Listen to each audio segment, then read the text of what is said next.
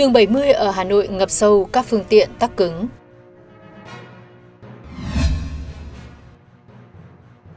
Cô gái liên tục thay đổi khách sạn để trốn truy nã. Ham lợi nhuận từ chơi game, người phụ nữ bị lừa mất 5,6 tỷ đồng. Từ sáng sớm ngày 24 tháng 7, đường 70 đoạn qua bệnh viện Ca Tân Triều, huyện Thanh Trì, Hà Nội bị ngập sâu do nước tại sông Nhuệ dâng cao tràn lên đường. Đoạn ngập sâu nhất tại đây là hơn 50 cm, các phương tiện không thể lưu thông. Nhiều người đã chọn cách dắt bộ qua đoạn ngập để đi tiếp. Một số người dân ở Thanh Trì, Hà Nội cho biết do nước ngập sâu nên xe máy không thể đi được. Một số ô tô con bị chết máy giữa đường. Do nước ngập sâu kéo dài hơn 500 mét nên một số ô tô con đã bị chết máy giữa đường khiến cho tình trạng ùn tắc giao thông tại đây càng trầm trọng. Do ảnh hưởng bởi trục đường 70 bị ùn tắc, tuyến phố Sa La, Mậu Lương, Kiến Hưng cũng bị ùn tắc kéo dài. Dòng ô tô xe máy đứng chôn chân không thể di chuyển. Nhiều người tỏ ra khá sốt ruột khi phải chờ đợi lâu mà xe không thể di chuyển. Lực lượng cảnh sát giao thông, thanh tra giao thông tại đây đang tích cực phân luồng, nhưng tình hình ùn tắc chưa có nhiều cải thiện. Tại một số khu dân cư lân cận đường 70, tình trạng ngập sâu cũng xảy ra khiến cho cuộc sống của người dân bị đảo lộn. Ngày 24 tháng 7, Phòng Cảnh sát Hình sự Công an tỉnh Bình Dương đã bàn giao Lưu Thị Cẩm Tú, 31 tuổi, ngụ Đồng Tháp cho Công an thành phố Bến Cát xử lý về hành vi mua bán trái phép chất ma túy. Trước đó, Tú bị Công an thành phố Bến Cát khởi tố về hành vi mua bán trái phép chất ma túy. Sau đó, Tú đã bỏ trốn và bị Công an thành phố Bến Cát ra quyết định truy nã. Thời gian bỏ trốn, Tú đã làm nhiều nghề và thường xuyên thay đổi khách sạn nhà nghỉ để trốn tránh lực lượng công an. Sau thời gian truy tìm tổ truy nã thuộc phòng cảnh sát hình sự phối hợp với phòng cảnh sát ma túy, công an tỉnh Bình Dương phát hiện Tú đang lẩn trốn tại huyện Củ Chi, thành phố Hồ Chí Minh nên đã theo dõi. Tối 23 tháng 7, khi phát hiện Tú vừa ra khỏi khách sạn và đang di chuyển trên tỉnh lộ 15, xã Tân Thạnh Tây, huyện Củ Chi, tổ truy nã đã nhanh chóng bao vây bắt giữ. Theo hồ sơ, Tú cùng người yêu ở trọ tại một khu nhà trọ thuộc phường Hòa Lợi, thành phố Bến Cát, tỉnh Bình Dương. Ngày 21 tháng 6 năm 2023, Công an thành phố Bến Cát phát hiện Tú và người yêu đang bán ma túy cho các con nghiện tại phòng trọ nói trên. Sau khi khám xét phòng trọ, lực lượng công an phát hiện một số ma túy đá. Mới đây, một người phụ nữ ở Thanh Hóa bị các đối tượng lừa đảo trên mạng xã hội dẫn dụ chơi game có thưởng. Số tiền nạp lên tới 5,6 tỷ đồng thì nhóm lừa đảo bốc hơi không để lại dấu vết. Bước đầu cơ quan công an tỉnh Thanh Hóa đã nhận được tin tố giác tội phạm của chị M, 40 tuổi, chú thành phố Thanh Hóa. Theo người này thì qua mạng xã hội Facebook có tên tài khoản là Quốc Bảo làm quen kết bạn. Ngày 1 tháng 6 Bảo gửi chị M link web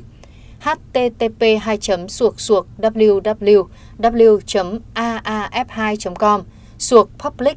lo của trang game Sans nhờ chị M đăng nhập để chơi cho vui. Người đàn ông trên mạng giới thiệu là nhân viên IT tại Hà Nội nắm được lỗi của hệ thống game. Cứ lúc 15 đến 15 giờ 30 hoặc 20 đến 20 giờ 30 hàng ngày, người chơi cứ nạp tiền vào chơi sẽ thắng lớn. Bán tín bán nghi, nhưng chị M bị dụ đánh vào lòng tham có lời nhanh chóng nên đã lập tài khoản chơi thử. Khi chị M nạp 50 triệu đồng lần đầu vào tài khoản 0000 6097 có tên là công ty trách nhiệm hữu hạn công nghệ nặng HFM thì ngay lập tức thu được gần 53 triệu đồng. Thấy tiền dễ kiếm, chị M như thiêu thân lao vào công cuộc làm giàu không khó mà không biết rằng đã rơi vào bẫy. Khi thấy con mồi đã được vỗ béo thành công, bọn lừa đảo mới cho tài khoản của chị M bị sập, không thể rút tiền ra được. Số tiền mà chị M đã nộp vào lên tới 5,6 tỷ đồng. Sáng ngày 23 tháng 7, phiên tòa sơ thẩm xét xử vụ án thao túng thị trường chứng khoán và lừa đảo chiếm đoạt tài sản liên quan cựu chủ tịch tập đoàn FLC Trịnh Văn Quyết và 49 người khác tiếp tục phần xét hỏi.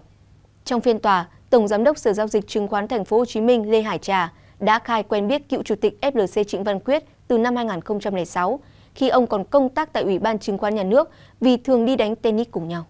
Hội đồng xét xử tiếp tục cách ly bị cáo Trịnh Văn Quyết cùng em gái Trịnh Thị Minh Huế, bị cáo Lê Văn Tuấn, kiểm toán viên công ty trách nhiệm hữu hạn kiểm toán và kế toán Hà Nội CPA để lấy lời khai với những người còn lại. Trả lời thẩm vấn bị cáo Trần Đắc Sinh, cựu chủ tịch hội đồng quản trị Sở giao dịch chứng khoán Thành phố Hồ Chí Minh HOSE cho biết có nghe cấp dưới báo cáo việc công ty Faros có vấn đề về kiểm toán và Ủy ban chứng khoán đã lưu ý cẩn trọng. Tuy nhiên, ông Sinh không có quyền quyết định việc niêm yết hay không vì vai trò của ông chỉ là hội đồng quản trị của HOSE. Cũng theo lời ông Sinh, việc xét duyệt hồ sơ niêm yết là nhiệm vụ chuyên môn sâu thuộc Ban điều hành và Hội đồng thẩm định niêm yết. Hai đơn vị này đã xem xét và đề nghị cho công ty Faros niêm yết thì hồ sơ mới chuyển lên Hội đồng Quản trị trong một cuộc họp giao ban tháng vào năm 2016. Ông Sinh cho hay, hội đồng quản trị của HOSE chỉ có chức năng kiểm tra, giám sát, do vậy trách nhiệm chính thuộc về Tổng Giám đốc HOSE là người quyết định việc niêm yết. Chủ tọa truy vấn bị cáo có gặp người của FLC trước khi đồng ý cho niêm yết hay không. Ông Sinh cho biết trước khi cổ phiếu ROS lên sàn khoảng 5 đến 6 tháng, ông có đi công tác Quy Nhơn cùng Ban Kinh tế Trung ương và tại đây đã gặp cựu Chủ tịch FLC Trịnh Văn Quyết. Sau đó, Doãn Văn Phương, Tổng Giám đốc FLC, đang bỏ trốn đến văn phòng HOSE đề nghị ông Sinh chỉ đạo cấp dưới làm nhanh hồ sơ Faros. Bị cáo Sinh cũng cho rằng sai phạm trong vụ án là sai phạm có hệ thống. Cuối phần trình bày, ông Sinh thừa nhận sai phạm, không ý kiến gì về tội danh bị truy tố. Cáo trạng xác định ông Sinh vì động cơ cá nhân và quen biết Trịnh Văn Quyết nên chỉ đạo cấp dưới chấp thuận niêm yết 430 triệu cổ phiếu ROS của công ty Faros trên sàn HOSE trái pháp luật. Trịnh Văn Quyết sau đó bán số cổ phiếu này gây thiệt hại hơn 3.600 tỷ đồng cho hơn 30.000 nhà đầu tư. Là người tiếp theo được gọi lên thẩm vấn, bị cáo Lê Hải Trà, cựu Tổng Giám đốc HOSE cho biết, thời điểm phạm tội, ông Trà là Phó Tổng Giám đốc kiêm thành viên hội đồng quản trị và thành viên hội đồng niêm yết của HOSE. Ông Trà khai quen biết Trịnh Văn Quyết từ năm 2006 khi ông công tác tại Ủy ban Chứng khoán Nhà nước vì thường đi đánh tennis cùng nhau. Sau đó ông chuyển vào thành phố Hồ Chí Minh làm việc tại sàn HOSE. Về hồ sơ Faros, ông Trà khai quy trình niêm yết có 3 bước. Đầu tiên là phòng quản lý và thẩm định niêm yết tiếp nhận hồ sơ, xử lý nghiệp vụ. Sau đó hồ sơ được đưa lên hội đồng niêm yết để các thành viên cho ý kiến vào phiếu. Tiếp theo là thư ký tổng hợp lại, trình tổng giám đốc quyết định. Cuối phần trình bày, ông Trà cho biết cáo trạng của Viện Kiểm sát truy tố với ông là đúng, không oan sai. Ông Trà bị cáo buộc theo chỉ đạo của Trần Đắc Sinh nên đồng ý chấp thuận niêm yết 430 triệu cổ phiếu ROS trên sàn HOSE trái pháp luật. Việc này giúp sức cho Trịnh Văn Quyết lừa đảo. Trình bày tại tòa, các bị cáo khác thuộc HOSE đều thừa nhận hành vi phạm tội. Thưa quý vị, liên quan đến vụ án thao túng thị trường chứng khoán của cựu chủ tịch FLC, theo cáo trạng, cựu tổng giám đốc Host Lê Hải Trà có quen biết với bị can Trịnh Văn Quyết và gây sức ép cho cấp dưới phải đề xuất chấp thuận hồ sơ niêm yết khi chưa đủ cơ sở xác định vốn góp của công ty Faros. Trong vụ án thao túng thị trường chứng khoán do cựu chủ tịch FLC Trịnh Văn Quyết cầm đầu, Viện Kiểm sát Nhân dân tối cao đã truy tố 7 bị can là cán bộ chứng khoán về các tội lợi dụng chức vụ, quyền hạn trong khi thi hành công vụ và cố ý công bố thông tin sai lệch hoặc che giấu thông tin trong hoạt động chứng khoán. Theo đó, nhóm 4 bị can thuộc Sở giao dịch chứng khoán Thành phố Hồ Chí Minh Host gồm Trần Đắc Sinh, cựu chủ tịch hội đồng quản trị, Lê Hải Trà, cựu phó tổng giám đốc, Trầm Tuấn Vũ, cựu phó tổng giám đốc và Lê Thị Tuyết Hằng, cựu giám đốc phòng giám sát giao dịch, nguyên giám đốc phòng quản lý và thẩm định niêm yết, bị truy tố tội lợi dụng chức vụ quyền hạn trong khi thi hành công vụ. Theo cáo trạng, bốn bị can này là những người có chức vụ quyền hạn. Bị can Trần Đắc Sinh có quan hệ với ông Trịnh Văn Quyết nên đã nhận lời làm nhanh hồ sơ niêm yết của công ty Faros. Ông Sinh biết rõ chưa đủ cơ sở xác định số vốn thực góp của công ty Faros là 4.300 tỷ đồng, nhưng vì động cơ, mục đích cá nhân vẫn chỉ đạo nhân viên cấp dưới làm nhanh hồ sơ niêm yết của Faros. Bị can Lê Hải Trà có quen biết với bị can Trịnh Văn Quyết, cũng biết rõ không đủ cơ sở xác định số vốn thực góp của công ty Faros. Tuy nhiên, ông Trà đã gây sức ép cho cấp dưới đề xuất chấp thuận hồ sơ niêm yết khi chưa đủ cơ sở xác định vốn góp, sử dụng vốn, khả năng thu hồi các khoản ủy thác đầu tư của công ty Faros. Tương tự bị can Trầm Tuấn Vũ, Lê Thị Tuyết Hằng biết rõ hồ sơ niêm yết chưa có cơ sở xác định vốn góp nhưng vẫn giúp sức tạo điều kiện để cổ phiếu Rose được niêm yết, tạo điều kiện cho ông Quyết chiếm đoạt tiền của nhà đầu tư. Hành vi của bốn bị can trên đã vi phạm Điều 3 Thông tư số 202 năm 2015 hướng dẫn về niêm yết chứng khoán trên Sở Giao dịch Chứng khoán, vi phạm Điều 5 Quyết định số 10 QD SGD-HCM về quy chế niêm yết chứng khoán, phạm vào tội lợi dụng chức vụ quyền hạn trong khi thi hành công vụ. Cũng theo cáo trạng, nhóm ba bị can thuộc vụ giám sát công ty đại chúng và Trung tâm Lưu ký chứng khoán Việt Nam, gồm Lê Công Điền, Dương Văn Thanh và Phạm Trung Minh, là những người có chức năng, nhiệm vụ quyền hạn trong việc công nhận công ty đại chúng, đăng ký chứng khoán cho công ty Faros. Các bị can này biết rõ hồ sơ đề nghị chấp thuận công ty đại chúng và đăng ký chứng khoán của công ty Faros chưa đủ cơ sở xác định số vốn thực góp, nhưng vẫn đồng ý chấp thuận công ty Faros là công ty đại chúng, có số vốn góp là 4.300 tỷ đồng và 114 cổ đông, đăng ký cổ phiếu ROS với số lượng 430 triệu cổ phiếu trái pháp luật và đăng thông tin sai lệch này trên thị trường chứng khoán. Sau đó, số cổ phiếu đã được bán cho 30.403 nhà đầu tư trên sàn host để Trịnh Văn Quyết chiếm đoạt gây thiệt hại cho các nhà đầu tư số tiền hơn 3.621 tỷ đồng. Hành vi nêu trên của các bị can Lê Công Điền, Dương Văn Thanh và Phạm Trung Minh đã tạo điều kiện giúp Trịnh Văn Quyết và đồng phạm đăng thông tin sai lệch về vốn góp của công ty Faros là 4.300 tỷ đồng trên thị trường chứng khoán. Từ đó các nhà đầu tư đã tin tưởng mua cổ phiếu ROS của Trịnh Văn Quyết, gây thiệt hại 30.403 nhà đầu tư trên sàn chứng khoán, số tiền hơn 3.621 tỷ đồng. Trong cáo trạng của Viện Kiểm sát nêu rõ, các bị can này đã phạm vào tội cố ý công bố thông tin sai lệch hoặc che giấu thông tin trong hoạt động chứng khoán, quy định tại Điều 209 Bộ Luật Hình sự. Ngoài ra, kết quả điều tra xác định các cá nhân thuộc Ủy ban Chứng khoán Nhà nước, Trung tâm Lưu ký Chứng khoán gồm ông Vũ Bằng, nguyên Chủ tịch Ủy ban Chứng khoán Nhà nước, bà Lê Thị Thu Hằng, Phó vụ trưởng vụ giám sát công ty Đại chúng, bà Trần Thị Hằng, chuyên viên phòng đăng ký chứng khoán thuộc Trung tâm Lưu ký Chứng khoán đã có dấu hiệu thiếu trách nhiệm trong việc tham mưu, đề xuất, chỉ đạo liên quan đến hồ sơ chấp thuận công ty Đại chúng, đăng ký chứng khoán của công ty Faros. Cơ quan điều tra xác định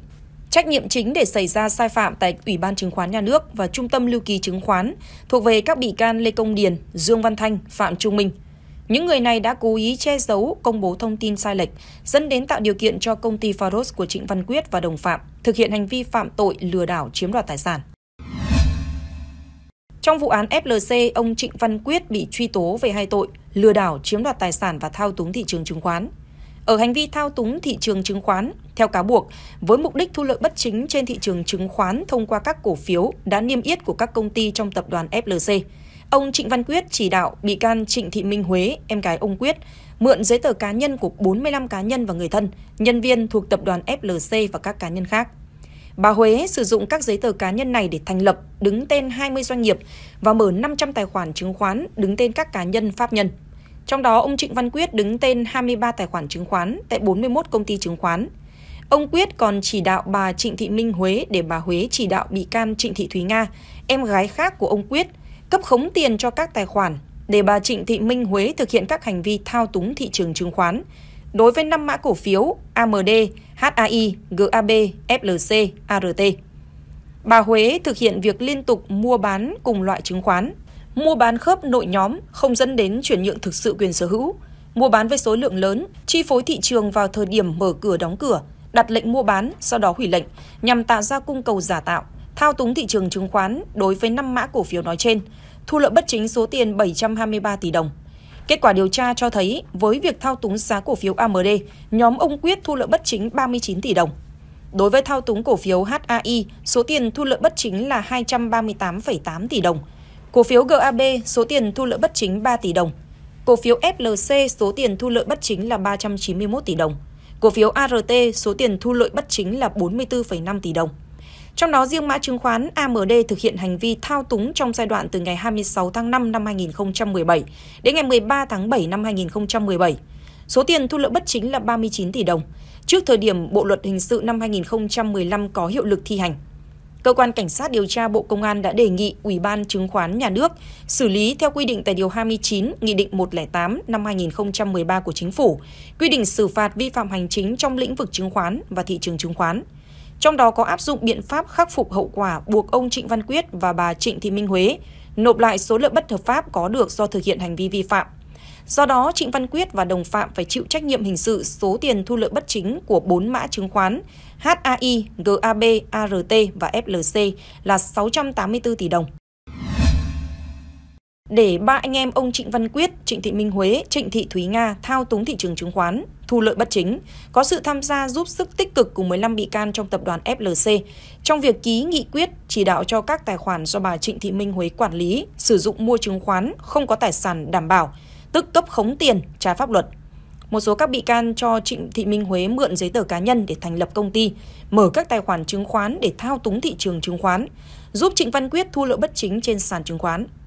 Trong đó hai bị can gồm Chu Tiến Vượng và Hương Trần Kiều Dung thuộc Hội đồng Quản trị, và bị can Nguyễn Quỳnh Anh thuộc ban tổng giám đốc công ty BOS biết bà Trịnh Thị Thúy Nga cấp khống tiền cho các tài khoản do Trịnh Thị Minh Huế quản lý sử dụng là trái pháp luật. Hai bị can này đã bị xử phạt vi phạm hành chính nhưng không chấm dứt mà vẫn tham mưu, đề xuất, chấp thuận cho Trịnh Thị Thúy Nga được cấp khống tiền cho các tài khoản Huế sử dụng, thao túng thị trường chứng khoán trái pháp luật, từ đó giúp ông Trịnh Văn Quyết thu lợi bất chính với số tiền đặc biệt lớn. Cáo trạng nhận định, hành vi của nhóm Trịnh Văn Quyết và các bị can khác là rất nghiêm trọng, đã xâm phạm đến trật tự quản lý kinh tế của nhà nước về lĩnh vực chứng khoán và thị trường chứng khoán, đã phạm vào tội thao túng thị trường chứng khoán, quy định tại điều 211 Bộ luật hình sự, thu lợi bất chính với số tiền đặc biệt lớn. Cáo trạng xác định ông Quyết là chủ mưu, quyết định chỉ đạo thực hiện mở, quản lý, sử dụng các tài khoản chứng khoán, quyết định chỉ đạo việc cấp khống tiền cho các tài khoản do bà Trịnh Thị Minh Huế quản lý, sử dụng để thao túng 5 mã chứng khoán, thu lợi bất chính 723 tỷ đồng. Gần đây, cả trăm phụ huynh ở Đắk Lắk đã tập trung đến một trường trung học phổ thông tư thục trên địa bàn để rút hồ sơ sau khi ngành giáo dục hạ điểm chuẩn thi lớp 10. Sự việc này đã thu hút sự quan tâm của dư luận, từ đó tạo ra rất nhiều ý kiến trái chiều. Liên quan đến sự việc, mới đây bà Phạm Thị Kim Thoa, Phó Hiệu trưởng trường Trung học phổ thông Phú Xuân Đắk Lắk thông tin, các phụ huynh có nguyện vọng đã được nhà trường giải quyết việc rút hồ sơ lớp 10 để chuyển qua trường công lập ngay trong chiều cùng ngày. Toàn trường có khoảng 600 hồ sơ, đã giải quyết cho rút 60 hồ sơ vào tuần trước và chỉ còn khoảng 70 hồ sơ của các em đủ điều kiện vào các trường công lập được rút. Bà cũng cho hay các phụ huynh cần xem con em mình có tên trong danh sách trúng tuyển của các trường khi đưa tên qua, thì trường sẽ tổng hợp cho rút vào sáng ngày 24 tháng 7 tới. Trường hợp đã rút khỏi trường Trung học phổ thông Phú Xuân, nhà trường sẽ không nhận lại hồ sơ lần hai. Bởi lẽ theo thông báo của Sở Giáo dục và Đào tạo, thủ tục nhập học đến hết ngày 25 tháng 7. Bà Thoa dẫn chứng từng có một phụ huynh đến trường rút hồ sơ cho con em mình, nộp vào trường công lập khác, nhưng không được nhận.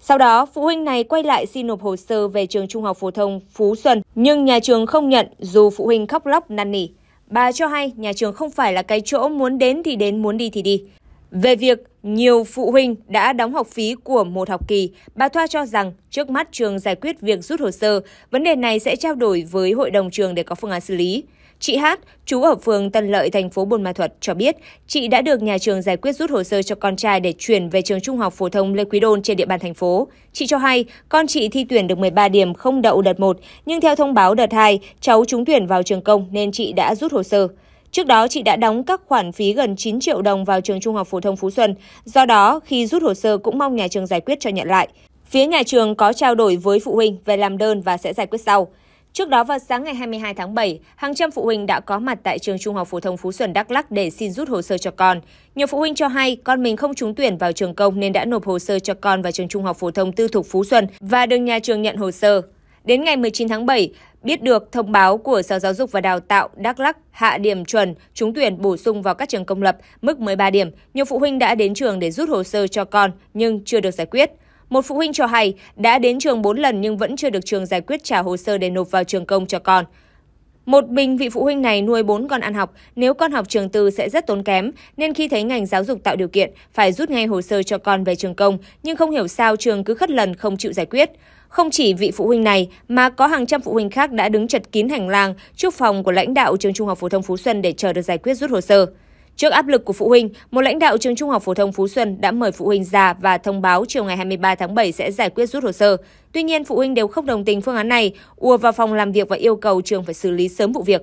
Trước tình thế trên, Phó hiệu trưởng trường Trung học phổ thông Phú Xuân đã xuống nước, hứa với phụ huynh sẽ giải quyết cho rút hồ sơ vào chiều ngày 22 tháng 7. Sau khi nghe lãnh đạo nhà trường hứa, cả trăm phụ huynh học sinh đồng ý phương án và quyết định ở lại trường cho đến chiều để được rút hồ sơ. Với thông báo ngày 19 tháng 7 của Sở Giáo dục và Đào tạo Đắk Lắk về việc hạ điểm chuẩn, tuyển bổ sung vào hai trường công lập tại thành phố Buôn Ma thuật cũng đã gây ra luồng dư luận trái chiều. Nhiều ý kiến cho rằng Sở công bố điểm trúng tuyển vào ngày 22 tháng 6, nhưng một tháng sau mới thông báo hạ điểm chuẩn là quá chậm.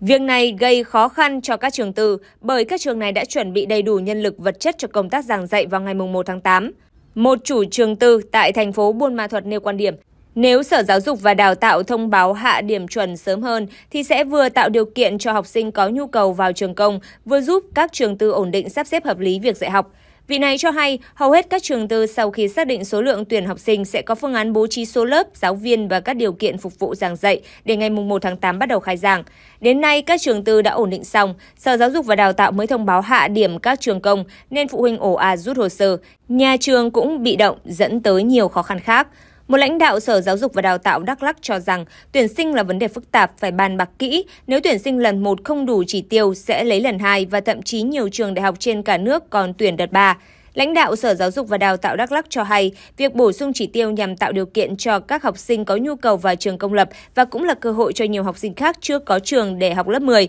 sẽ nộp hồ sơ vào trường tư. Về tiền học phí đã nộp vào các trường tư, lãnh đạo Sở Giáo dục và Đào tạo Đắk Lắk nêu rõ những đơn vị này có nhiệm vụ hoàn tiền lại cho phụ huynh. Sở Giáo dục và Đào tạo tỉnh Đắk Lắk vừa yêu cầu các trường trung học phổ thông công lập trên địa bàn thu nhận hồ sơ vào lớp 10 của học sinh phải đạt đủ điểm chuẩn. Động thái này xuất phát từ việc phụ huynh tập trung đông ở trường tư thục Trung học phổ thông Phú Xuân Đắk Lắk sau khi ngành giáo dục điều chỉnh điểm chuẩn thu hút sự quan tâm của dư luận. Ngày 22 tháng 7, ông Đỗ Tưởng Hiệp, Phó Giám đốc Sở Giáo dục và Đào tạo tỉnh Đắk Lắk thông tin, liên quan đến việc phụ huynh tập trung ở trường tư thục Trung học phổ thông Phú Xuân rút hồ sơ thì các trường trung học phổ thông có nhiều cấp học cần tạo điều kiện cho học sinh trúng tuyển bổ sung được rút hồ sơ.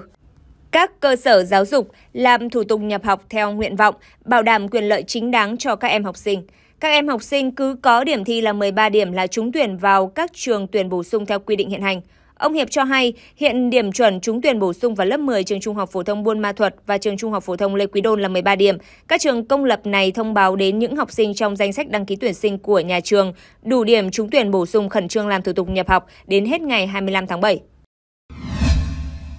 Trong đợt tuyển sinh lớp 10 lần này, không chỉ có Đắk Lắk điều chỉnh điểm chuẩn mà tại Khánh Hòa cũng vừa có thêm thông báo bổ sung về điểm chuẩn tuyển sinh. Theo thông báo này, một số trường trên địa bàn có quy định thêm tiêu chí phụ để xét tuyển.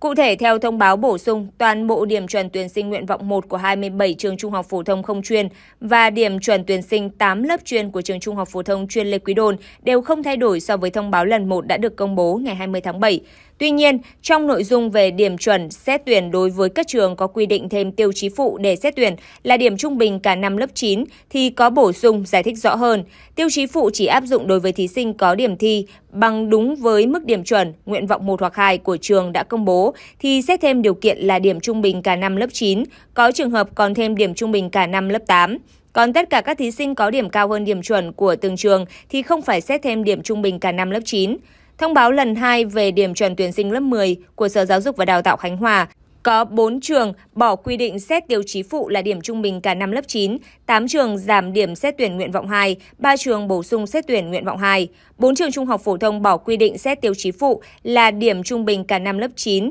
gồm Trần Hưng Đạo, thành phố Cam Ranh, Nguyễn Du, thị xã Ninh Hòa, Lạc Long Quân và Nguyễn Thái Bình đều ở huyện Khánh Vĩnh. 8 trường trung học phổ thông giảm điểm xét tuyển nguyện vọng 2 là Trần Hưng Đạo, thành phố Cam Ranh, có điểm nguyện vọng 2 theo thông báo lần 1 là 27,5 điểm, giảm còn 26,75 điểm. Nguyễn Huệ, huyện Cam Lâm, có điểm nguyện vọng 2 từ 25 điểm xuống 22 22,75 điểm. Võ Nguyên Giáp, huyện Diên Cánh, có điểm nguyện vọng 2 từ 25,5 giảm xuống 25,25 điểm. Hoàng Văn Thụ, thành phố Nha Trang, có điểm nguyện vọng 2 từ 32,25 giảm xuống 31,75 điểm. Hà Huy Tập, thành phố Nha Trang, có điểm nguyện vọng 2 từ 32,5 điểm giảm xuống còn 32,25 điểm. Nguyễn Thị Minh Khai, huyện Vạn Ninh, có điểm nguyện vọng 2 từ 25 điểm giảm còn 24,75 điểm. Lê Hồng Phong, huyện Vạn Ninh, có điểm nguyện vọng 2 từ 24,5 điểm giảm xuống 23,75 điểm. Tô Văn Ơn, huyện Vạn Ninh có điểm nguyện vọng 2 từ 20,75 điểm, giảm xuống còn 20,25 điểm. Ba trường trung học phổ thông bổ sung xét tuyển nguyện vọng 2,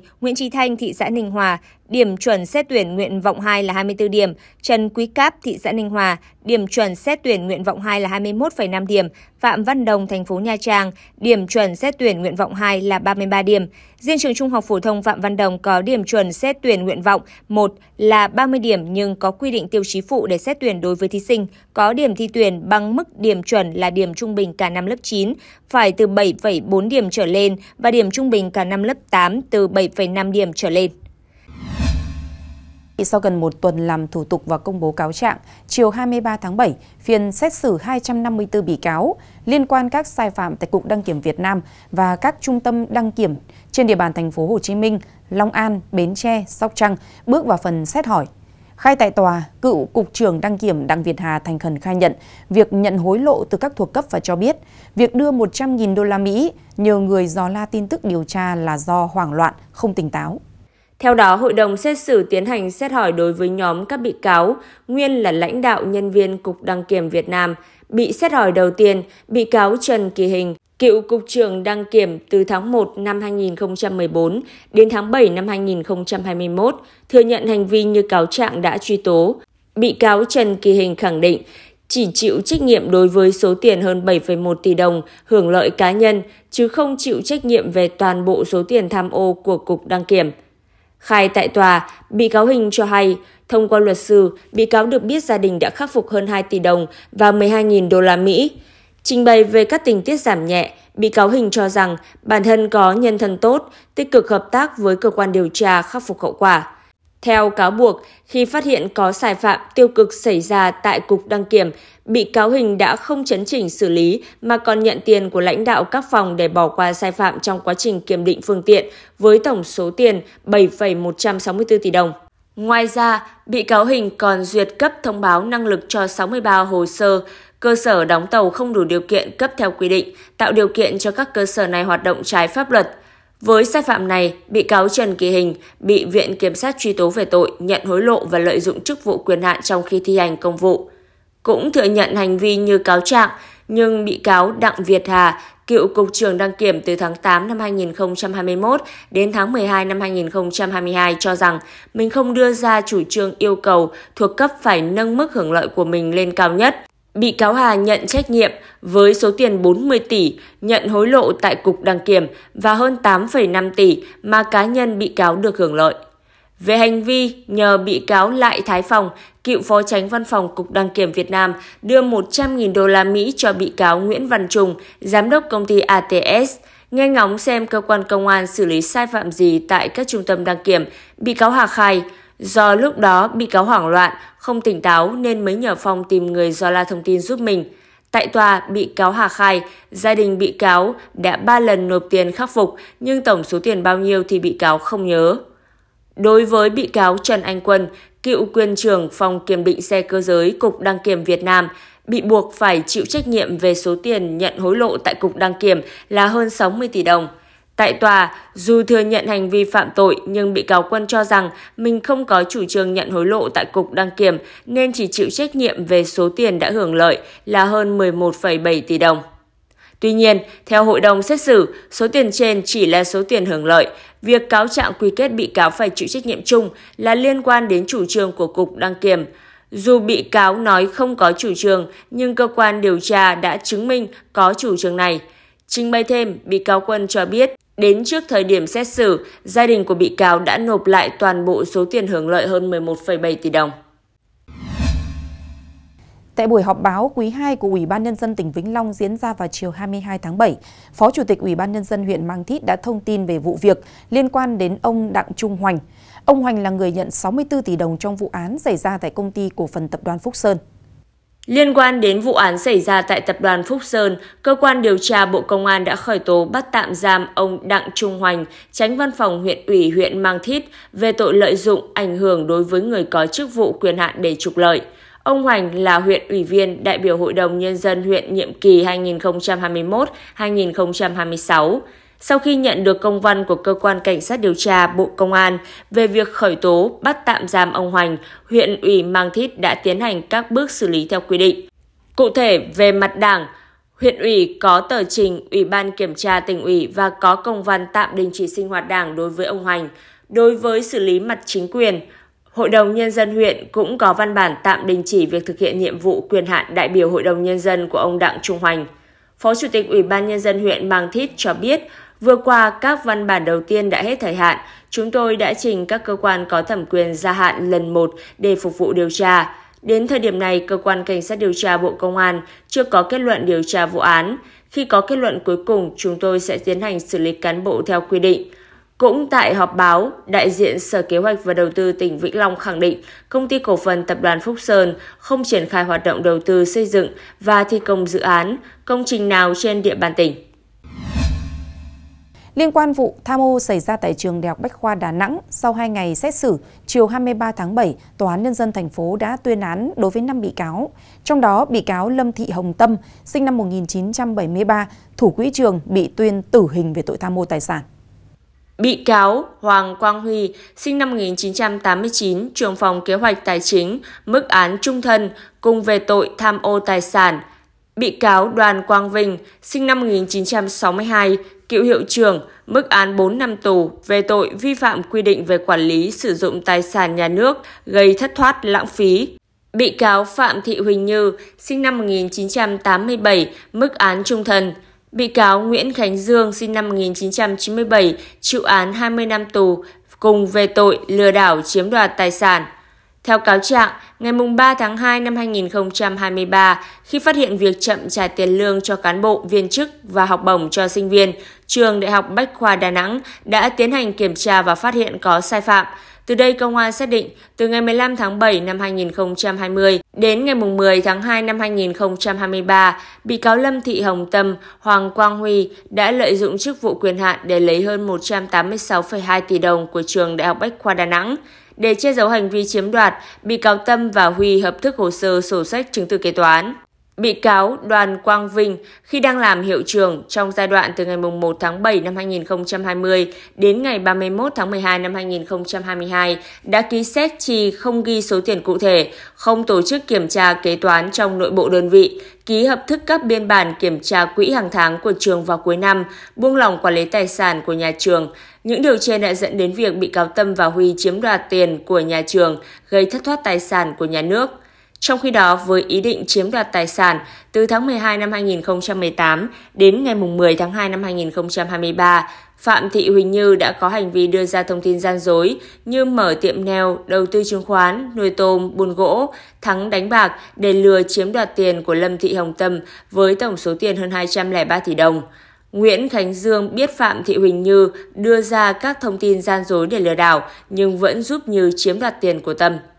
Tại phiên tòa, đại diện Viện Kiểm sát Nhân dân thành phố Đà Nẵng cho rằng thiệt hại của vụ án lên tới hơn 186 tỷ đồng là rất lớn, nhưng mức khắc phục hậu quả của các bị cáo lại rất hạn chế. Việc này đã ảnh hưởng đến quyền lợi chính đáng của các sinh viên cũng như uy tín của nhà trường, gây bức xúc dư luận. Vì vậy, mức án đưa ra là tương xứng đối với hành vi phạm tội của các bị cáo. Hội đồng xét xử nhận định hành vi của Tâm và Huy gây thiệt hại nghiêm trọng, tạo dư luận xấu trong nhân dân, ảnh hưởng đến uy tín của trường Đại học Bách khoa Đà Nẵng. Bị cáo Vinh với chức vụ là hiệu trưởng buông lỏng quản lý, không sát sao để cấp dưới lợi dụng thực hiện phạm tội, tham ô tài sản lớn. Đối với Như và Dương đã chiếm đoạt số tiền rất lớn, gây ảnh hưởng đặc biệt nghiêm trọng đến tài sản của nhà nước, dù được học hành đầy đủ, hiểu biết về pháp luật, nhưng bất chấp thực hiện hành vi vi phạm pháp luật nên xử phạt nghiêm khắc, tạo sự gian đe cho xã hội. Sáng ngày 23 tháng 7, bão số 2 đã suy yếu thành áp thấp nhiệt đới trên vùng biển Quảng Ninh Hải Phòng. Theo thống kê ban đầu, cơn bão gây gió giật khiến hai tàu nhỏ của Cô Tô bị chìm, một số địa phương ngập lụt và hàng trăm cây xanh bị quật đổ, nhưng rất may không có thiệt hại về người. Với sự chủ động trong triển khai phòng chống bão số 2, sau khi bão đổ bộ vào đất liền, tỉnh Quảng Ninh không để xảy ra thiệt hại về người. Người dân sinh sống ở khu vực có nguy cơ sạt lở cao, các hộ nuôi trồng thủy sản, ngư dân đánh bắt xa bờ, gần bờ đã được kịp thời thông báo về nơi tránh trú hoặc sơ tán để đảm bảo an toàn. Thiệt hại về vật chất, theo thống kê sơ bộ chủ yếu là cây xanh bị gãy đổ, các biển hiệu, một số lều, quán ven biển bị tốc mái, các địa phương đã chủ động dọn dẹp cây cối gãy đổ, vệ sinh đường phố để đảm bảo giao thông trên các tuyến đường. Trong đó, huyện đảo Cô Tô là địa phương bị ảnh hưởng nhiều nhất khi bão số 2 đã làm chìm một con tàu vỏ xi măng và một xuồng cao tốc, 50 cây xanh đô thị và một số lều quán ven biển. Ngay sau bão số 2, chính quyền lực lượng vũ trang, đoàn thể các cấp của tỉnh Quảng Ninh đã nhanh chóng kiểm tra hiện trường, khắc phục hậu quả, dọn cây xanh gãy đổ, vệ sinh môi trường, ổn định đời sống người dân. Theo thống kê, thành phố Hạ Long có 3 điểm sạt lở, lũ tại ba ngầm tràn. Thiệt hại rõ nhất sau bão số 2 là hàng loạt cây xanh bị ngã đổ bật gốc. Bão cũng gây hư hỏng một số cây trồng hoa màu, làm bung hàng rào tôn ở một số công trình xây dựng, làm nghiêng gãy nhiều biển báo giao thông. Để khắc phục hậu quả sau mưa bão, các lực lượng chức năng thành phố Hạ Long, Ủy ban nhân dân các xã phường đã huy động lực lượng khơi thông dòng chảy, gia cố các điểm sung yếu và chủ động chuẩn bị các vật tư phương tiện để xử lý các khu vực bị ảnh hưởng. Ban công ích thành phố Hạ Long phối hợp với các đơn vị chăm sóc cây xanh và Ủy ban nhân dân các phường xã dọn dẹp cây đổ tại các tuyến đường. Tại phường Bãi Cháy, do ảnh hưởng của mưa bão gây sạt lở sập công trình phụ của nhà dân tại tổ 4 khu 7 và không có thiệt hại về người, lực lượng chức năng đã di chuyển người dân đến nơi an toàn và đang khắc phục hậu quả xảy ra. Tại phường Hà Trung đã thực hiện di rời khẩn cấp 4 hộ dân đến nơi an toàn. Trong đó, ba hộ dân do nhà cấp 4 đã xây lâu năm, xuống cấp, nguy cơ xảy ra đổ sập và một số hộ dân nhà cấp 4 xây dựng trên ta luy dương cao, không có bờ kè chắn đất, nguy cơ cao xảy ra sạt lở. Ủy ban nhân dân phường Hồng Hải cũng triển khai di rời 5 hộ dân tại tổ 2, khu 7A đến nơi an toàn. Hiện tại, thành phố Hạ Long huy động lực lượng chủ động tăng cường bám, nắm địa bàn và di chuyển người dân đến nơi đảm bảo an toàn, tuyệt đối không để xảy ra thiệt hại về người và giảm thiểu thiệt hại về tài sản. Trên địa bàn thị xã Quảng Yên vẫn có mưa, tuy nhiên lượng mưa đã giảm đáng kể. Tại tuyến đường phố Quang Trung, tuyến đường 338 nối đường 331, đoạn qua phường Quảng Yên, ghi nhận một số cây xanh bị gãy đổ. Hiện tại, địa phương yêu cầu các lực lượng chức năng khẩn trương khắc phục tình trạng cây đổ trên các tuyến đường, tránh làm ảnh hưởng đến các phương tiện lưu thông. Ngoài ra, tại xã Cẩm Là, do khu vực cánh đồng trũng thoát nước chưa kịp, khả năng bị ngập úng thiệt hại khoảng 30 ha lúa mới gieo xạ. Cũng tại thị xã Quảng Yên, qua giả soát tại một số địa phương như Hồng Thái Đông, Đức Chính, Thủy An, Việt Dân xảy ra tình trạng ngập úng cục bộ một số diện tích lúa gạo mới gieo. Hiện một số đường tràn tại xã An Sinh và xã Bình Khê nước dâng cao qua dàn giao thông, địa phương đang cắt cử người canh gác, cảnh báo người và phương tiện không đi qua đường tràn. Tại huyện Ba Chẽ, mưa bão đã gây ra hai điểm sạt lở nhỏ tại km 13, km 14 thuộc đường huyện DH01, đường Tân Tiến, Lang Cang, Khe Nà, Xóm Mới. Các tuyến đường xã cầu tràn thấp trên địa bàn xã Đồn Đạc đã bắt đầu bị ngập. Hiện tại đã ngập hai ngầm tràn, khe Pụt thành công, tràn Hát Lốc vào thôn Xóm Mới, xã Lương Mông, nước bắt đầu ngập tràn. Tràn cũ thị trấn sang khu 7 đã ngập khoảng 40 cm. Thưa quý vị, được nhận định ban đầu là cơn bão yếu, nhưng khi vượt qua đảo Hải Nam tiến vào vịnh Bắc Bộ, bão số 2 tăng cấp rất nhanh, đạt cấp 10, giật cấp 13 vào chiều ngày 22 tháng 7, trở thành cơn bão mạnh trên vịnh Bắc Bộ, gây gió giật mạnh cho đất liền, mưa lớn diện rộng kéo dài trong hôm nay và ngày mai ở miền Bắc, Thanh Hóa. Ngày 23 tháng 7, bão số 2 đổ bộ đất liền khu vực Hải Phòng, Quảng Ninh, trở thành cơn bão đầu tiên đổ bộ nước ta sau chuỗi ngày kỷ lục hơn 640 ngày không có bão.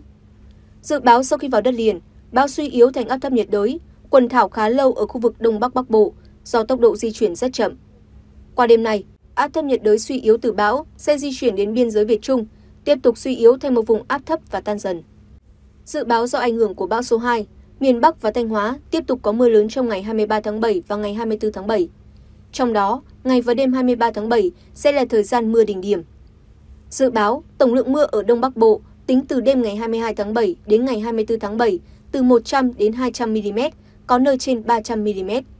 Khu vực Tây Bắc Bộ và Thanh Hóa từ ngày 23 tháng 7 đến ngày 24 tháng 7 từ 50 đến 100 mm, có nơi trên 200 mm. Từ đêm ngày 24 tháng 7, mưa lớn ở khu vực Bắc Bộ và Thanh Hóa có xu hướng giảm dần. Thủ đô Hà Nội dù không nằm trên đường đi của bão, nhưng cũng đón mưa rất to do ảnh hưởng của hoàn lưu bão. Dự báo tổng lượng mưa ở Hà Nội từ đêm ngày 22 tháng 7 đến ngày 24 tháng 7 là 80 đến 150 mm, có nơi trên 200 mm. Một số huyện ở phía nam và phía tây của thành phố mưa ít hơn, từ 60 đến 120 mm, có nơi trên 150 mm. Do ảnh hưởng của mưa bão, ngày 23 đến ngày 24 tháng 7, trên các sông ở khu vực Bắc Bộ và Thanh Hóa có khả năng xuất hiện một đợt lũ, với biên độ lũ lên trên các sông từ 2 đến 5 mét. Thời điểm áp thấp nhiệt đới ở khu vực giữa Biển Đông mạnh lên thành bão, sáng ngày 21 tháng 7. Ngoài khơi Philippines cũng có một cơn bão khá mạnh hoạt động là bão Gemi. Các chuyên gia nhận định, sự tương tác giữa hai cơn bão này có thể xảy ra. Vì thế, đường đi của bão số 2 sẽ rất khó lường, nhưng đây là cơn bão yếu với cường độ mạnh nhất khoảng cấp 8. Tuy nhiên sáng ngày 22 tháng 7, sau khi ma sát với đảo Hải Nam của Trung Quốc, bão số 2 chỉ suy yếu một chút và nhanh chóng mạnh trở lại ngay trong sáng qua khi gặp các điều kiện rất thuận lợi ở vịnh Bắc Bộ. Đến chiều ngày 22 tháng 7, theo Trung tâm Dự báo Khí tượng Thủy văn Quốc gia, bão đã đạt đến cường độ cấp 10, giật cấp 13, tăng 2 cấp so với thời điểm đi vào đảo Hải Nam, trở thành cơn bão mạnh trên vịnh Bắc Bộ. Việc bão duy trì cường độ mạnh khiến cho vùng biển ở vịnh Bắc Bộ, bao gồm đảo Bạch Long Vĩ, Cô Tô, ghi nhận gió mạnh cấp 6, cấp 8. Vùng gần tâm bão đi qua mạnh cấp 9, cấp 10, giật cấp 13, biển động rất mạnh. Sóng biển cao từ 2,5 đến 4,5 mét. Trên đất liền khu vực Quảng Ninh, Hải Phòng có khả năng chịu tác động của gió mạnh cấp 7. vùng gần tâm bão cấp 8, giật cấp 10, 11. Khu vực Lạng Sơn, Bắc Giang, Thái Bình, Nam Định có gió mạnh cấp 5, cấp 6, có nơi cấp 7, giật cấp 8, cấp 9. Cơ quan khí tượng đặc biệt lưu ý, ven biển các tỉnh Quảng Ninh, Nam Định trong chiều ngày 23 tháng 7 có chiều cường cao. Chiều cường cao kết hợp với nước dâng do bão, mừng nước tại hòn dấu cao từ 3,9 đến 4,1 m, tại cửa ông từ 4,7 đến 4,9 m, kèm theo sóng lớn, có thể gây ngập tại khu vực trũng thấp ven biển, ven sông và làm chậm quá trình thoát lũ trên các sông tại khu vực. Một điểm nguy hiểm khác của bão số 2 là tốc độ di chuyển khá chậm. Từ khi đi vào vịnh Bắc Bộ, bão số 2 di chuyển với tốc độ chỉ khoảng 5 đến 10 km. Dự báo khi đổ bộ vào đất liền, áp thấp nhiệt đới suy yếu từ bão số 2 tiếp tục di chuyển rất chậm. Do thời gian quần thảo trên vịnh Bắc Bộ và trên đất liền kéo dài, nên tác động của bão số 2 lớn hơn, nguy hiểm hơn. Bão số 2 cùng với áp thấp nhiệt đới trên biển Đông vào giữa tháng 7 và cơn bão số 1 vào cuối tháng 5 cho thấy thiên tai ngày càng khốc liệt và dị thường khi các cơn bão, áp thấp nhiệt đới hình thành ngay tại Biển Đông với đặc điểm diễn biến nhanh, khó lường và thường ảnh hưởng trực tiếp đến đất liền. Theo báo cáo nhanh từ Văn phòng Thường trực Phòng chống thiên tai tỉnh Quảng Ninh, bão số 2 đã vào khu vực bờ biển tỉnh Quảng Ninh, gây gió mạnh cấp 7, cấp 8, giật cấp 9 và mưa rải rác, có nơi mưa vừa đến mưa to. Lượng mưa đo được tại các điểm đo tự động tại các địa phương từ 19 giờ ngày 22 tháng 7 đến 6 giờ ngày 23 tháng 7 như Vân Đồn 140,4 mm, Cẩm Phả 126,6 mm, Hà Long 125,2 mm. Dự báo trong ngày 23 tháng 7, bão tiếp tục di chuyển theo hướng Tây Tây Bắc, suy yếu dần và tiếp tục gây mưa lớn. Theo báo cáo nhanh từ các địa phương, đến thời điểm hiện nay không có thiệt hại về người. Tại huyện Cô Tô có một tàu vỏ xi măng, loại tàu nhỏ người dân dùng để đi lại bán hàng trong Âu Cảng, và một xuồng cao tốc nhỏ đậu trong Âu Cảng bị chìm. Đổ gãy 50 cây xanh đô thị và một số lều quán ven biển bị tốc mái. Các địa phương còn lại chưa có thiệt hại gì lớn xảy ra. Văn phòng Thường trực Phòng chống thiên tai tỉnh Quảng Ninh yêu cầu tiếp tục theo dõi diễn biến bão, mưa lớn, ra soát cập nhật tình hình địa bàn, triển khai ngay công tác cứu hộ cứu nạn nếu có, thường xuyên báo cáo tình hình về văn phòng thường trực tỉnh. Trước đó để đảm bảo an toàn về người và tài sản trong thời gian có gió mạnh, sóng lớn do bão số 2, Ban chỉ huy phòng chống thiên tai, tìm kiếm cứu nạn và phòng thủ dân sự thành phố Hải Phòng đã ra thông báo đình chỉ các hoạt động giao thông vận tải đường thủy nội địa, phà sông, phà biển, tuyến cáp treo Cát Hải Phú Long, hoạt động du lịch, vui chơi giải trí tại khu vực biển đảo từ 12 giờ ngày 22 tháng 7. Thông báo cũng nêu rõ, các đơn vị địa phương liên quan tiếp tục khẩn trương thông báo, kêu gọi tàu thuyền đang hoạt động trên biển về nơi tránh trú an toàn. Kiên quyết ngăn chặn, không để tàu thuyền thủy sản, phương tiện đường thủy nội địa đã vào nơi trú tránh, hoạt động trong thời gian có gió mạnh, sóng lớn. Chủ tịch Ủy ban Nhân dân, trưởng ban chỉ huy phòng chống thiên tai và tìm kiếm cứu nạn các huyện, quận, thủ trưởng sở, ngành, đơn vị liên quan, chỉ đạo, tổ chức thực hiện. Trước diễn biến phức tạp của bão số 2, Chủ tịch Ủy ban Nhân dân thành phố Hải Phòng Nguyễn Văn Tùng đã yêu cầu các địa phương đơn vị tuyệt đối không chủ quan, chuẩn bị sẵn sàng điều kiện để chủ động, phòng chống và khắc phục hậu quả do bão, mưa lớn gây ra. Cùng với đó, tăng cường công tác thông tin, tuyên truyền, vận động nhân dân thực hiện biện pháp phòng chống bão, bảo vệ an toàn về người và tài sản, hạn chế người dân ra đường trong thời gian bão đổ bộ, mưa lớn để đảm bảo an toàn. Các đơn vị địa phương theo dõi chặt chẽ diễn biến của bão, kiểm đếm bằng mọi biện pháp thông báo cho chủ phương tiện đang hoạt động trên biển, khẩn trương di chuyển về nơi trú tránh an toàn. Quản lý chặt chẽ hoạt động của tàu thuyền thủy sản, tàu du lịch, tàu vận tải, tổ chức neo đậu tàu thuyền, gia cố lồng bè thủy sản. Tuyệt đối không để người trên các tàu thuyền, lồng bè, tròi canh thủy sản khi có gió mạnh hoặc bão đổ bộ, đặc biệt là khách du lịch trên biển và các đảo. Giữ liên lạc thường xuyên với chủ phương tiện, xử lý kịp thời tình huống xấu có thể xảy ra. Ban chỉ huy phòng chống thiên tai và tìm kiếm cứu nạn tỉnh Ninh Bình đã có công điện số 01 CD BCH về việc tập trung ứng phó bão số 2 và mưa lũ nhằm hạn chế thiệt hại, bảo vệ an toàn tính mạng và tài sản của nhân dân. Theo đó, Ban chỉ huy phòng chống thiên tai và tìm kiếm cứu nạn tỉnh yêu cầu Ban chỉ huy phòng chống thiên tai và tìm kiếm cứu nạn các huyện, thành phố, theo dõi chặt chẽ diễn biến của bão, tổ chức kiểm đếm tàu thuyền đang hoạt động trên biển, quản lý chặt chẽ các phương tiện ra khơi, bằng mọi biện pháp thông báo cho các chủ phương tiện, thuyền trưởng các tàu thuyền đang hoạt động trên biển biết vị trí, hướng di chuyển và diễn biến của bão để chủ động phòng tránh, thoát ra hoặc không di chuyển vào khu vực nguy hiểm. Đồng thời, các đơn vị theo dõi chặt chẽ diễn biến mưa lớn, lũ, ngập lụt, sạt lở đất, thông tin kịp thời đầy đủ đến các cấp chính quyền, người dân biết để chủ động phòng tránh, ứng phó, giảm thiểu thiệt hại. Triển khai lực lượng kiểm tra, giả soát các khu dân cư ven sông, suối, khu vực thấp trũng để chủ động tổ chức di rời, sơ tán người dân khu vực có nguy cơ cao xảy ra ngập lụt sâu, sạt lở đất. Ban chỉ huy phòng chống thiên tai và tìm kiếm cứu nạn huyện Kim Sơn chủ động phối hợp với Bộ Chỉ huy quân sự Bộ đội Biên phòng tỉnh và các đơn vị có liên quan, tổ chức hướng dẫn tàu thuyền neo đậu, tránh trú, bảo vệ lồng bè, tròi canh, khu vực nuôi trồng thủy sản. Tùy theo diễn biến của bão, chủ động cấm biển, di dân và đảm bảo an toàn cho người, tài sản. Bộ Chỉ huy Bộ đội Biên phòng tỉnh, Bộ Chỉ huy quân sự tỉnh, Công an tỉnh phối hợp với các ủy ban nhân dân các huyện, thành phố, chủ động bố trí lực lượng, phương tiện, hỗ trợ sơ tán dân, di rời dân cư ra khỏi khu vực nguy hiểm, tổ chức cứu hộ, cứu nạn, khắc phục hậu quả khi có tình huống thiên tai. Sở Nông nghiệp và Phát triển Nông thôn tỉnh phối hợp với công ty trách nhiệm hữu hạn một thành viên khai thác công trình thủy lợi tỉnh, Ủy ban nhân dân các huyện, thành phố triển khai biện pháp đảm bảo an toàn đê điều, hồ đập, hạn chế thiệt hại đối với nuôi trồng thủy hải sản, sản xuất nông nghiệp, công nghiệp và công trình cơ sở hạ tầng, chủ động phương án tiêu úng, đảm bảo an toàn cho lúa mùa và hoa màu, triển khai các biện pháp đảm bảo an toàn các hồ chứa nước thủy điện. Công an tỉnh, Sở Giao thông Vận tải phối hợp với các địa phương bố trí lực lượng canh gác, kiểm soát, hướng dẫn, hỗ trợ đảm bảo an toàn giao thông qua các ngầm, tràn, các khu vực có nguy cơ xảy ra sạt lở, khu vực ngập sâu, nước chảy xiết. Kiên quyết không cho người và phương tiện qua lại nếu không đảm bảo an toàn. Chủ động bố trí lực lượng ứng trực tại các điểm sung yếu để sẵn sàng ứng cứu, cứu hộ, cứu nạn khi có tình huống. Công ty trách nhiệm hữu hạn một thành viên điện lực Ninh Bình đảm bảo an toàn lưới điện, cung cấp đủ điện phục vụ tiêu úng, sản xuất và sinh hoạt. Với bản sắc văn hóa ẩm thực tinh tế cuốn hút, Hà Nội là một trong 15 thành phố có nền ẩm thực hấp dẫn nhất thế giới, theo bình chọn của TripAdvisor. TripAdvisor vừa đề xuất du khách đến Hà Nội để thưởng thức những món ăn mang tính biểu tượng của thủ đô, dù là những quán ăn bình dân cho đến các nhà hàng cao cấp được Michelin vinh danh. Khu phố cổ ở trung tâm thủ đô Hà Nội là địa điểm vô cùng nhộn nhịp, nơi du khách có thể thưởng thức vô vàn những món ăn đường phố hấp dẫn và cả những đặc sản địa phương đặc sắc như bánh cuốn, phở, chả cá. Và một trong những thức uống ấn tượng với du khách chắc chắn không thể thiếu cà phê với đa dạng các phiên bản như cà phê trứng, cà phê muối, cà phê sữa đá. Khám phá ẩm thực Hà Nội, du khách có thể tự do trải nghiệm hoặc lựa chọn các tour ẩm thực quanh phố cổ. Những người dân bản địa sẽ đưa du khách đến những địa chỉ ăn ngon, giá cả phải chăng, người bán hàng đôi khi sẽ giới thiệu về nguồn gốc lịch sử của món ăn cũng như một số địa danh nổi tiếng của thủ đô. Trước đó năm 2023, thủ đô Hà Nội đã được độc giả nền tảng du lịch lớn nhất thế giới TripAdvisor bình chọn là một trong 20 điểm đến ẩm thực hàng đầu thế giới. Với nhiều món ăn đặc trưng, thủ đô của Việt Nam ngày càng thu hút nhiều du khách, đặc biệt là những người sành ăn từ khắp nơi trên thế giới. Trang Trip Advisor mô tả về Hà Nội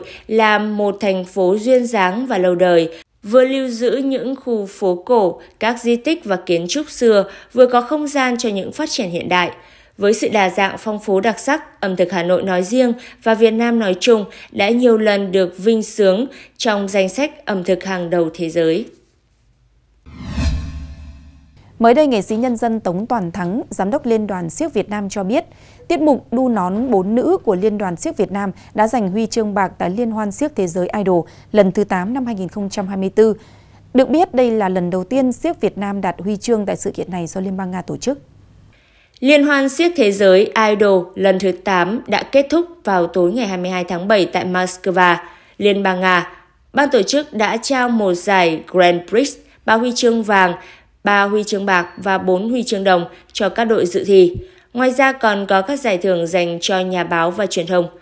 Sự kiện diễn ra tại dạp xiếc Great Moscow State Circus thu hút nhiều đoàn xiếc nổi tiếng trên thế giới. Trước dịch Covid-19, liên hoan diễn ra liên tục từ năm 2013 đến năm 2019. Sau 5 năm gián đoạn do đại dịch, Liên hoan được tổ chức lại vào năm 2024 với sự tham gia của 24 tiết mục đặc sắc từ 17 quốc gia. Tiết mục Đu nón bốn chữ của Liên đoàn siếc Việt Nam do nghệ sĩ nhân dân Tống Toàn Thắng đạo diễn và nghệ sĩ Đức Tài phụ trách kỹ thuật. Phần biểu diễn do bốn nữ diễn viên Chu Hồng Thúy, Phạm Thị Hướng, Lưu Thị Hường và Lô Ngọc Thúy thực hiện.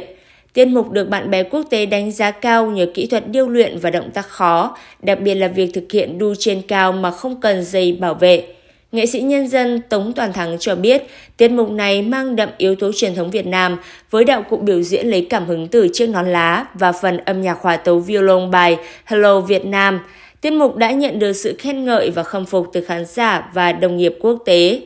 Tại Liên hoan siếc thế giới Idol lần này, nghệ sĩ nhân dân Tống Toàn Thắng còn vinh dự được mời làm thành viên hội đồng giám khảo, đánh dấu lần đầu tiên Việt Nam có đại diện tham gia hội đồng giám khảo của Liên hoan quốc tế danh tiếng này. Những thông tin vừa rồi đã kết thúc chương trình của chúng tôi ngày hôm nay. Cảm ơn quý vị đã quan tâm theo dõi. Xin kính chào tạm biệt và hẹn gặp lại.